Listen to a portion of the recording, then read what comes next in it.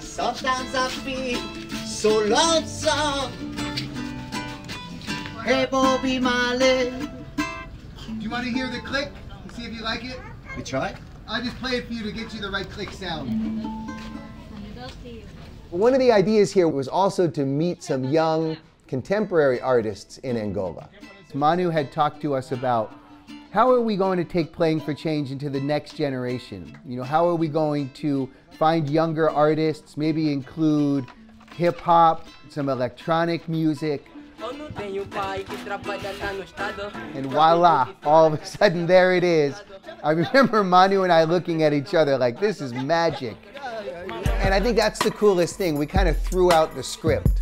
It's not just about adding what's the next organic instrument or what's the next singer. And that actually changed the way we made this song. It's been really organic. You know, everywhere we go, we just finding pieces that make the song better. You end up really kind of tapping into all these different genres of music and then putting them together to create something bigger than themselves.